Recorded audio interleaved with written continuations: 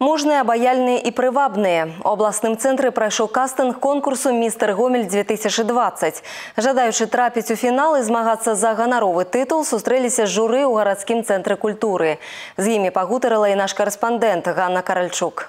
Пошукі самага прыгожага і артыстычнага гамельчаніна арганізавала подыум школа мадэльнага агентства Сергея Нагорнага. На кастынг запрасілі паўналетніх хлопцаў ростам не менш за 175 сантыметраў, якія маюць беларускае грамадзянства. Прэтэндэнты павінны быць прывабнай знешнасці, харызматычнымі і ўпэўненымі ў сабе. Сёлета самому старэйшаму удзельніку споўнілася 33 гады, самому юнаму 18. Род заняткаў у хлопцаў таксама розны. Гэта студэнты, фітнес-трэнеры, а таксама ўрач, прадпрымальнік, будаўнік, монтажнік, монтажник, повар, программист и выратовальник. Увлекаюсь я спортом, а, слежу за здоровьем, за фигурой, а, правильное питание.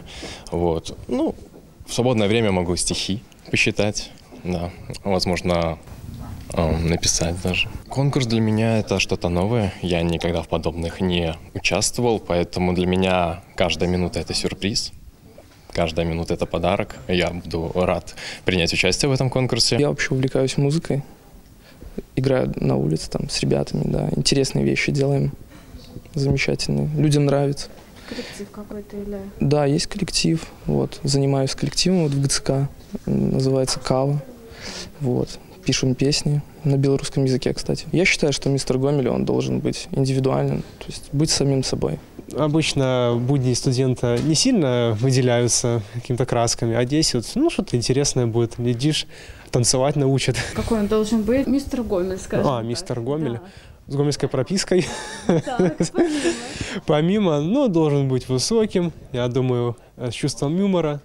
Я думаю, не должен стесняться публики, должен подшучивать, ну, возможно, с ноткой самоиронии. Не должен прогибаться под тяготы жизни, а просто почувствовать неудовольствие. Матывацыя ў кожнага свая. Хтосьці прыйшоў, каб пазбавіцца ад комплексаў, падняць самаацэнку ці навучыцца новаму. Удзельнічаць у конкурсе многіх пераканалі любімая дзяўчына або жонка, родныя і сябры. Падчас адбору маладым людзям прапанавалі адказаць на розныя пытанні, прадэманстраваць навыкі дэфіле і асабістыя творчыя здольнасці. Па словах журы ад фіналістаў чакаюць не толькі прывабнасці і фізічнай сілы, але і розуму, артыстычнасці і ўпэўненасці ў сабе. Астатнім навыкам іх абяцаюць навучыць падчас падрыхтоўкі да фіналу. В течение нескольких месяцев наши парни будут готовиться усиленно к финалу.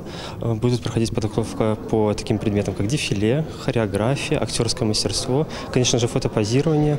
Планируем с ними выезд на различные городские мероприятия еще в процессе подготовки, чтобы они могли привыкнуть к сцене, э, так сказать, набраться опыта, не, не бояться публики. Хотим в процессе снимать э, социальные ролики, ролики спортивные мероприятия, интеллектуальные. Может быть, повторим успех прошлого года, кулинарный поединок проведем. Па выніках кастынгу ў фінал арганізатары плануюць адабраць 14 стыльных, спартыўных і абаяльных кандыдатаў. Імя містера Гомель 2020 вызначыцца падчас шоу ў лютым наступнага года. Ганна Каральчук, Яўген Макенка, тэлерадыёкампанія Гомель.